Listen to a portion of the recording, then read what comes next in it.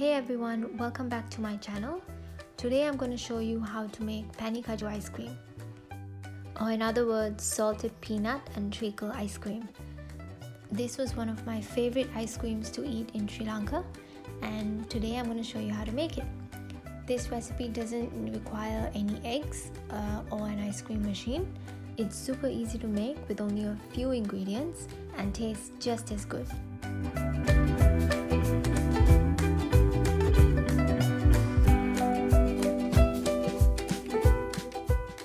A bowl, add 200 ml of sweetened condensed milk. Because we're not using any eggs in this recipe, the condensed milk is what's going to make give that fat content uh, to the ice cream, which is what's going to make it very smooth. And of course, the sweetness is just an added bonus. And add in one tablespoon of peanut butter. Uh, be careful not to add too much because that might make the ice cream uh, difficult to scoop out at the end.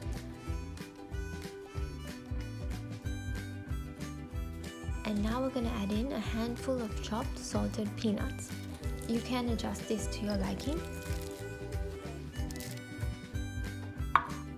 Mix it all together until it's well combined.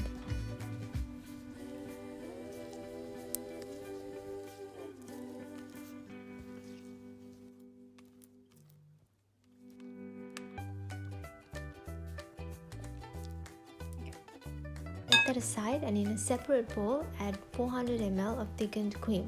The ratio to this ice cream is 200 ml condensed milk to 400 ml cream.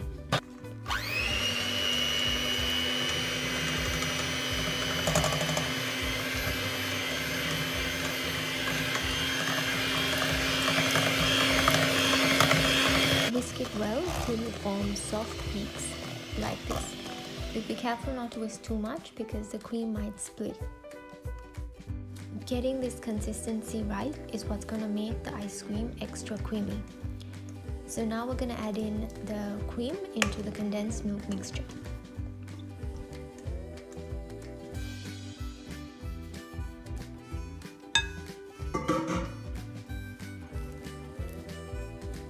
Gently fold in the mixture until it's all well combined but be careful not to over mix because you don't want to lose those air bubbles.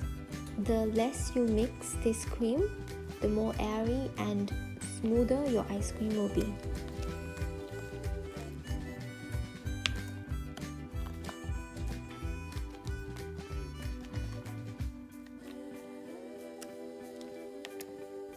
Now I'm going to add in 1 teaspoon of kithul treacle I'm just going to drizzle it around so that I don't have to mix it too much.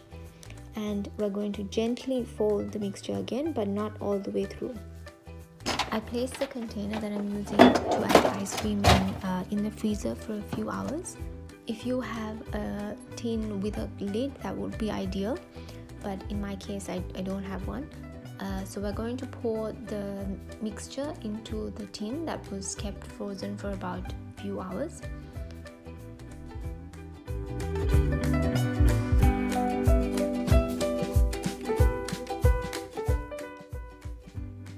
Lightly spread it around. Again don't over mix the um, ice cream mixture.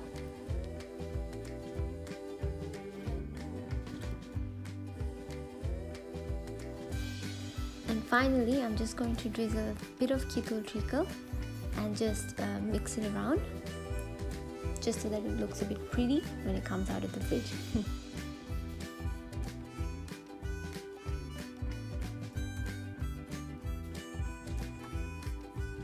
And there you have it. It's finally ready to go into the freezer. Cover it with a lid. Uh, in my case, I don't have one for this particular container, so I'm using cling wrap. A cling wrap isn't the most ideal because your ice cream will come out a bit hard. Uh, so if you do have a lid, please do use that.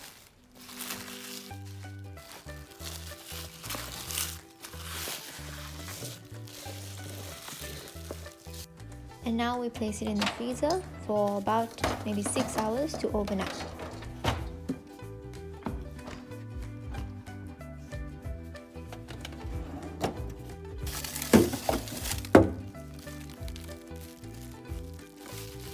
Let the ice cream sit out a bit before you scoop it out Uh, it might be quite hard at first, uh, especially if you use cling wrap. But after a few minutes, it should be easy to scoop out. Homemade ice cream generally melts faster than uh, store-bought ice cream because we're not using the ice cream machine. But it tastes much better and you can always adjust it to your liking. I'm going to top it off with a little bit of kithul treacle and some chopped peanuts.